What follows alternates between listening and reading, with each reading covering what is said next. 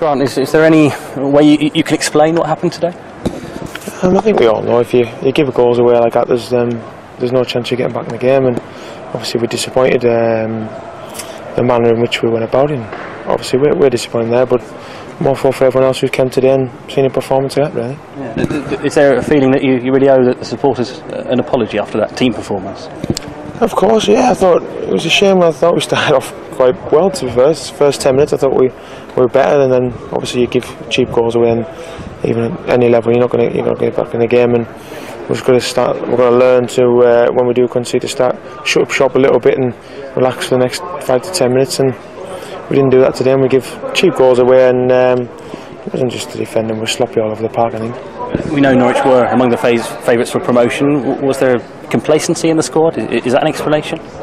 No, I don't think so. I think it's just one of them days. Everyone has them. Um, we um, obviously we've been done seven one. Um, I can't and that, I can't see that happen, happening again. But um, we just got to bounce back now. Just got to get on with it. We've got a um, we've got a game on Tuesday. We've got a game on, Saturday. Uh, we've got a lot of games coming up to that, and uh, I'm sure we've uh, by the time we get back home, a couple of wins under the belt, and they've all forgotten about. We've seen horrible scenes at Carrow Road, really. There there were supporters on the pitch at, at one point as well. This is a, a result that really will have made a lot of, lot of fans angry. It will, but obviously it's up to us now. You can understand why people people are frustrated that they pay the money to come and watch, and you get that. But it's early, um, and just we've got to apologise for what happened today. That's, that's fair enough. But hopefully, when um, we come back into town um, in the next few weeks, you'll see a different team, and hopefully, um, in 45 games we've got left, um, be different scenes here. Thank you. There were a, a lot of bridges to be mended after last season. I know you weren't here, but it seems in one fell swoop the team or the club as a whole has managed to sort of knock them all down again. I mean, I I don't know where you start. Do you? Well, you start by not giving cheap goals away. That's that's the um, that's where you start. Um, we can't do that.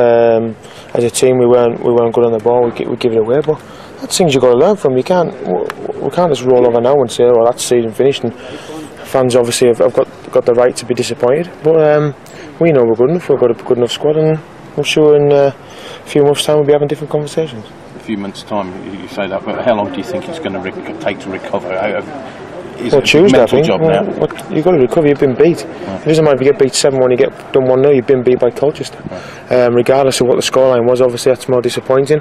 Um, but if we got beat one 0 today, we'd still be saying the same things to you now. Um, so we've got to bounce back. We've got Tuesday. We've got a game in the League Cup where we know we, we've got to go there and do something, play better than what we did today, not give cheap goals away, and um, build from there.